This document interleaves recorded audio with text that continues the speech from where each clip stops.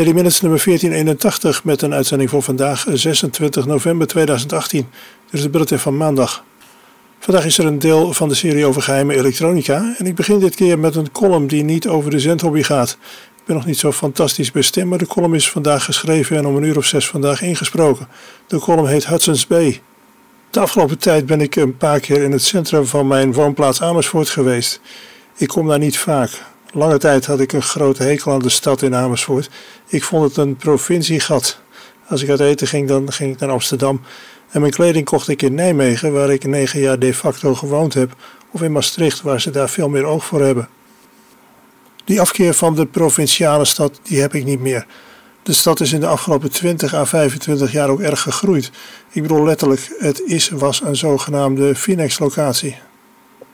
Je hebt zo van die dingen waar je sinds je kindertijd herinneringen aan hebt. Een van die dingen was voor mij de winkel van VND. Ik ben opgegroeid in de plaats Dordrecht en op mijn elfde ben ik naar Amersfoort verhuisd. De winkel van VND in Dordrecht kan ik me ook nog wel herinneren. Maar ik ben daar een keer terug geweest en die was toen zo verbouwd dat ik hem niet terug herkende. Vanaf mijn elfde heb ik dus herinneringen aan de winkel in Amersfoort van dit bedrijf. Niet dat het heel belangrijk was, maar met name het pand in mijn woonplaats is toch wel erg mooi met grote gebrandschilderde ramen en zo. Ook het filiaal in Nijmegen, daar kom ik graag. In het begin dat ik in Nijmegen vertoefde, kocht ik er wel eens vijf en een kwart inch floppies. Een formaat dat ook echt nog floppy was. Ja, het is lang geleden. Ik ben in de nadagen van het bedrijf in Amersfoort nog wel eens geweest, maar dat stemde niet bepaald vrolijk. Keek je naar een mobiele telefoon in het bedrijf die je wel wilde hebben, dan bleek dat ze overjarige modellen hadden staan voor de oorspronkelijke prijs waarvoor ze geïntroduceerd waren. En als je dan vroeg of er wat van de prijs af kon, omdat het kennelijk toch een winkeldochter was, dan kon dat heel beslist niet. Wel kreeg je te horen dat er alleen nog een demo-exemplaar was, maar als ik het apparaat per se wilde hebben, dan had ik daar ook de volle prijs wel voor over. Een van de sympathieke dingen van het bedrijf VND was dat ze ook oude werknemers gewoon in dienst hielden. Waar bedrijven als Blokker en Albert Heijn, als ze de kans krijgen het jonge volk alweer lozen, als op hun twintigste twee jongerenloonschalen opgeschoven zijn, bij VND werkten mensen net als bij de Engelse komische serie Wordt u al geholpen tot aan hun pensioen. Enerzijds echter, moet ik reëel zijn, werkte de uitstraling van ook een ouder verkoopteam ook wel eens tegen het bedrijf. En ik heb meermalen meegemaakt, hoewel dat niet van de laatste jaren van VND was, dat oudere verkopers zo ongemotiveerd waren dat ze zich snel uit de voeten maakten als jij als klant naar zo'n werknemer op zoek was. Het heeft mij dus niet verwonderd dat het bedrijf op een gegeven moment niet meer kon bestaan. Hoewel ik slechts zelden in die winkel kwam, vulde het me toch wel met weemoed dat ik niet eens nog een kijkje zou kunnen nemen toen het winkelbedrijf failliet ging. VND sloot en ik dacht dat ik er nooit weer zou komen. Een deel van de filialen zijn dus overgenomen door het Canadese bedrijf Hudson's Bay, waaronder het monumentele pand in mijn woonplaats. Recent ben ik eens voor het eerst gaan kijken wat zij allemaal aan dat mooie pand verknald hadden. Maar dat viel mee. Op bepaalde plekken hadden ze het pand verkleind, maar dat was niet eens zoveel. Zelfs de inrichting was niet zoveel anders. Roltrappen, trappen, liften, het was allemaal nog precies zo. Wel was er veel meer aandacht aan het licht besteed. De sfeer was niet meer vergeeld zoals in de VND-dagen bijna letterlijk was.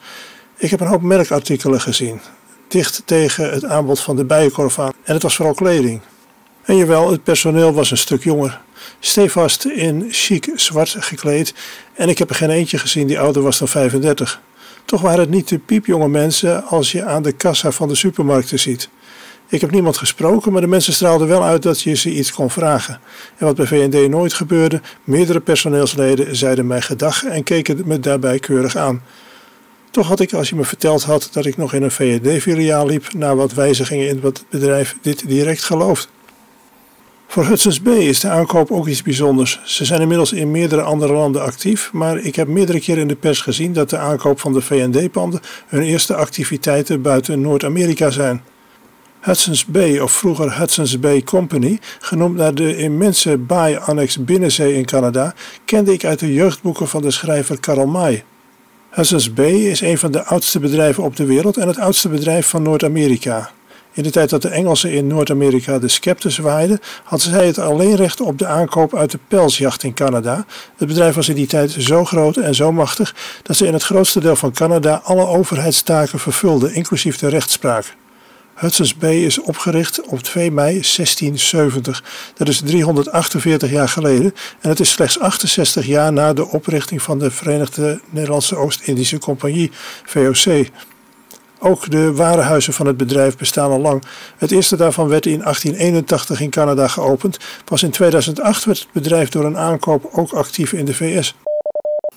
Vandaag deel 19 uit de serie over geheime elektronica. Ik ga vandaag nog wat verder in op artikelen die verkrijgbaar zijn voor particuliere en privédetectors, waarvan ik er in deel 18 al een aantal behandelde. Met nogmaals de opmerking dat ik niet helemaal op de hoogte ben van wat mag. Het kan dus zijn dat je bepaalde items alleen onder bepaalde voorwaarden mag gebruiken, alleen als professional, alleen met vergunning of zelfs helemaal niet. Zoek voordat je eventueel zelf iets onderneemt dus uit of iets mag en onder welke voorwaarden. Een leuke verborgen camera. Gezien in een spyshop vind ik een niet heel goedkoop camerasysteem, maar wel leuk. Waarbij de camera's verborgen zitten in volledig functionele rookmelders. Die dingen zijn in eerste instantie vermoedelijk onverdacht en ze hebben vaak een ideale plek om de hele ruimte te kunnen overzien. Vandaag ga ik het trouwens hebben over een aantal zaken op dit gebied die niet elektronisch zijn. Vorige keer vroeg ik me hardop af wat dievenpoeder wel niet is en wat je daarmee kunt. Er blijken meerdere soorten van te bestaan. Er staat in een van de webshops overigens dat het veel wordt toegepast. Dat betekent natuurlijk ook dat je alleen naïeve dieven mee vangt die er zelf niet van op de hoogte zijn. Dievenpoeder is geur- en kleurloos. Je brengt het poeder aan op het item dat je wilt beschermen. Als het object vervolgens wordt aangeraakt, blijft het goedje aan de handen of bijvoorbeeld kleding van de aanraker zitten. Door een UV-lamp kun je de aanwezigheid van het goedje aantonen. De aanwezigheid is alleen met een UV-lamp te zien, niet met het blote oog.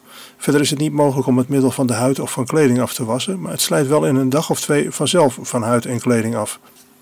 Een tweede variant van het dievenpoeder heeft een enigszins andere werking. Betreft hier ook weer een onzichtbaar poeder, maar bij aanraking met het menselijk lichaam ontstaat er een chemische reactie, waardoor het zichtbaar wordt als een fel fluoriserende paarsblauwe verf. Deze verf is niet uitwisbaar of afwasbaar, maar verdwijnt ook hier weer na een dag of twee weer van het lichaam. Er zijn nog andere dingen die niet elektronisch zijn, maar soms wel een beetje een hoog Pietje Belgehalte lijken te hebben. Er zijn bijvoorbeeld meerdere soorten van pennen met onzichtbare inkt. Eén variant werkt waarschijnlijk volgens hetzelfde principe als de eerste variant van het dievenpoeder. De inkt is met het blote oog onzichtbaar, tenzij je met een UV-lamp op schijnt. Voor rond de 15 euro te koop voor particulieren en professionals. En bij dezelfde webshop in een kinderspeelgoedvariant voor 9,95. Alle versies hebben een ingebouwde UV-lamp. Een veel geavanceerder systeem dat voor rond de 35 euro te koop is, dat is een zogenaamde Mossad-pen. Geen idee waarom het ding zo heet, maar Mossad is de naam van de vermaarde Israëlische geheime dienst. Mossad, wat een verkorting is van de volledige naam, betekent trouwens het instituut. Ook de Mossad-pen schrijft met onzichtbare inkt, dat wil zeggen als je schrijft is de inkt gewoon zichtbaar. Als je papier bijvoorbeeld met een haarfeun even warm maakt, dan verdwijnt de inkt. Weer zichtbaar maken gaat door het papier even in de vriezer te plaatsen. Een favoriet van mij is trouwens het spypaper, spionnenpapier. Dat is papier met een ingebouwd vernietigingsmechanisme.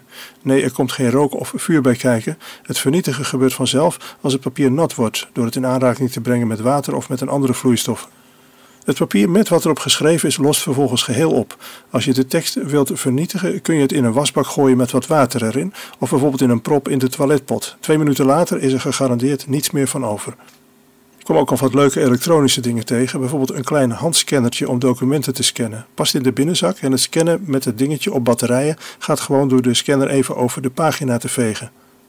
Tot zover deel 19 over geheime elektronica. Dit keer grotendeels zonder elektronica. Daily zijn dagelijks vanaf ongeveer 1900 uur te beluisteren. De uitzending wordt een dag later om half elf ochtends herhaald. Alle mail is welkom op het adres x xdv.me. Dat is ook te vinden rechts bovenaan de webpagina van de uitzendingen www.pa0ete.nl.